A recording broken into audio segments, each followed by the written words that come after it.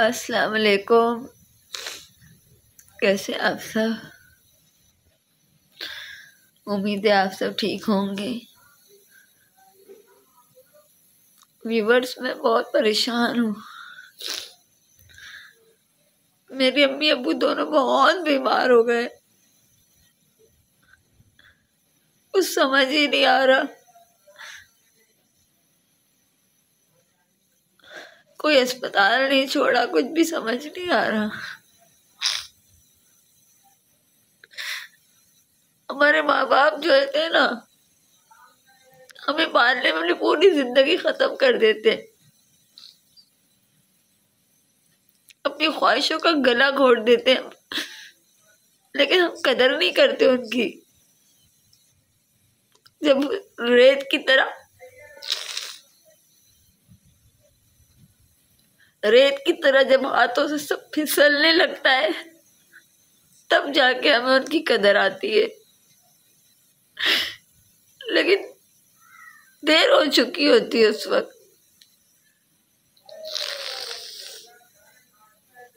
माँ बाप जैसी कोई नेमत है ही नहीं। अपनी पूरी ज़िंदगी लगा देते हैं। कोई ख्वाहिश पूरी नहीं करते अपनी। अपनी औलाद के लिए दिन रात एक कर देते हैं।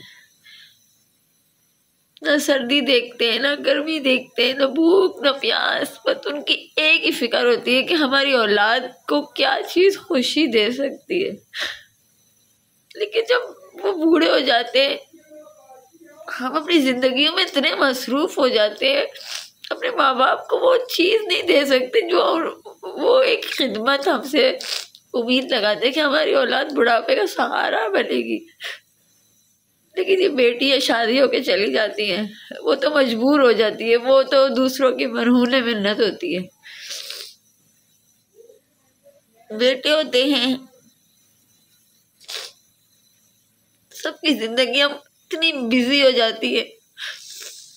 वो दो शख्स जो अपनी पूरी लाइफ स्पेंड कर देते हैं इतने बच्चों को पालने में, वो नहीं देखते कि एक बच्चा है, दो बच्चे, जितने भी बच्चे उनके होते हैं पूरी ज़िंदगी अपनी लगा देते अपने बच्चों में ही। लेकिन बच्चे इतने मसरूफ हो जाते हैं कि उन्हें टाइम ही नहीं मिलता अपने माँ बाप के लिए। पता नहीं क्यों क्यों नहीं मिलता। बहरहाल लेकिन अल्लाह ताला पाक, अल्लाह ताला से बस दुआ है कि हमारे माँ बाप का साया हमारे सरों पर कायम रखे। माँ बाप जैसी नेमत नहीं मिलती। कदर करें अपने माँ बाप की हमें से हमें जो बन पड़ रहा है, हम कर रहे हैं। अल्लाह पाक ज़िंदगी देने वाला है, बेशक। बस दुआ करें। कि हमारे माँ बाप को अल्लाह इतनी ज़िंदगी दे के बस।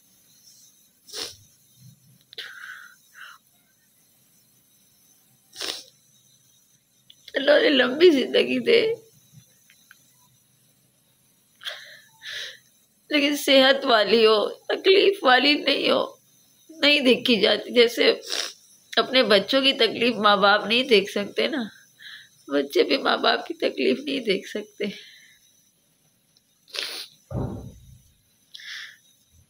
तीन दिन अपने माँ बाप के घर रही।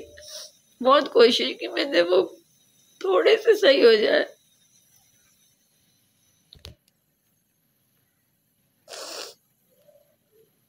अल्लाह की मर्ज़ी है। अल्लाह जब चाहेगा इंशाल्लाह तभी शिफा मिलेगी। अल्लाह पाक से अच्छी उम्मीद रखनी चाहिए। मेरे परवरदिगार, सेहत तंदरुस्ती, शिफा, ज़िंदगी सब अल्लाह के हाथ में अल्लाह से अच्छी उम्मीद रखनी चाहिए सबको। अल्लाह पाक करम करेगा। लेकिन नहीं देखी जा रही तुम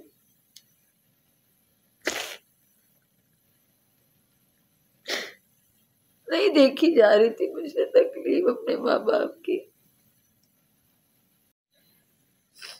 बस आप लोग दुआ कीजिएगा मेरे लिए कि मेरे माँ बाप ठीक हो जाए, मुझे और कुछ नहीं चाहिए। अल्लाह पाक में मेरे माँ बाप ठीक हो जाए। रौनक, घर की जो रौनक होती है, वो बड़ों से होती है।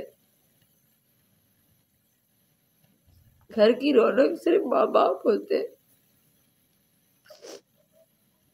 एक औरत का महका उसके माँ बाप से ही होता है। बहुत तकलीफ़ में, अबू बहुत तकलीफ़ में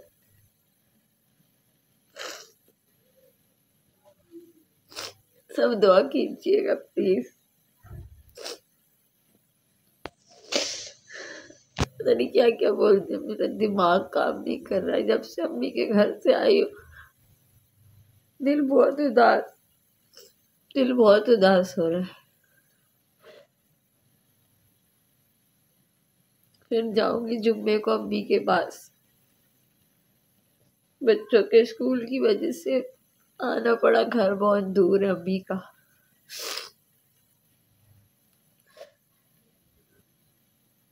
बस आप लोग दुआ कीजिएगा। ठीक हो जाए अम्मी अबू दोनों। अल्लाह हाफिज़।